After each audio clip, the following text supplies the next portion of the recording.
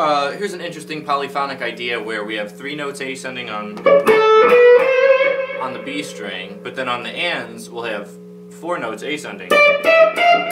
So essentially we have this repeating, and we have we have that repeating. So um, on the ands. So.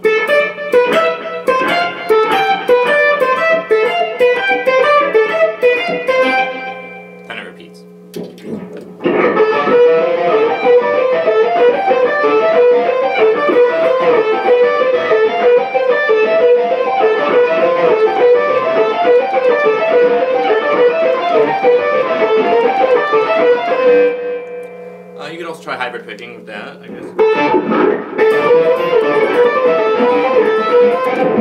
Then repeat that. Interesting idea.